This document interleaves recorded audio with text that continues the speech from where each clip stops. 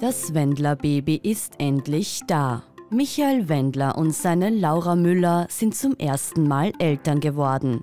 Schon oft wurde spekuliert, ob die beiden möglicherweise Eltern werden. Und Anfang des Jahres war es schließlich soweit. Auf Instagram verriet die Influencerin am 6. Februar 2023 die überraschenden News. Liebe im Bauch, unser großes Glück ist unterwegs. Dazu postete sie ein Foto des Paares, auf dem der Schlagersänger ein paar weiße Schüchchen in der Hand hält. Jetzt ist das Baby des umstrittenen Paares auf der Welt. Für Laura Müller ist es das erste Kind.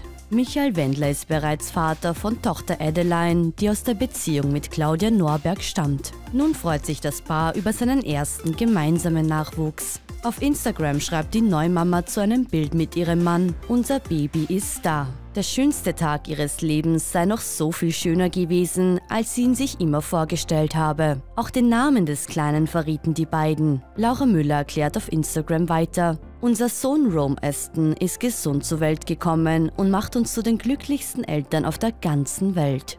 Mit der Geburt seines eigenen Kindes wird man mit dem schönsten Geschenk des Universums gesegnet. Er ist ein so wunderschönes Baby, wir lieben dich so sehr, schreiben die frisch gebackenen Eltern.